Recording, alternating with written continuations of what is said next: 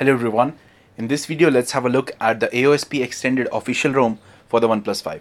As you can see here it is based out of Android version 8.1 and it also has the latest Android security patch level as of now.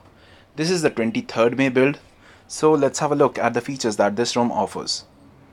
Under here you can find gestures so you can double press the cam power button to jump to camera.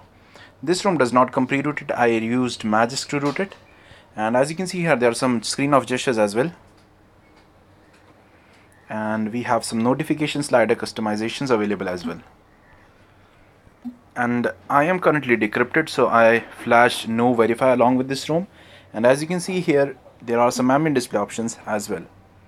Now let's see if we have volume steps. Yes we have volume steps option available here. They can be customized.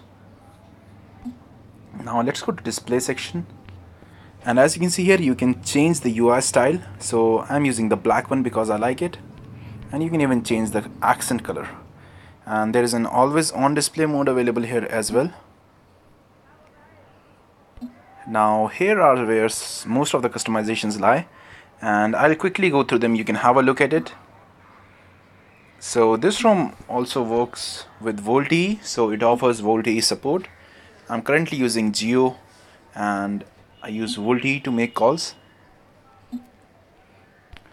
And talking about battery life, the battery life is pretty good. I'm able to go for about a day of use with this ROM.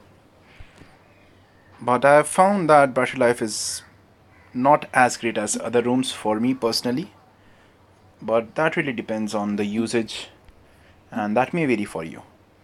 And this ROM is pretty smooth and fast. There are no issues with apps closing in the background or any lags or stutters. So that's something that was expected. So that's great. And there are no major bugs with this ROM and I really like it. So that's it for this video. If you liked it click on the like button.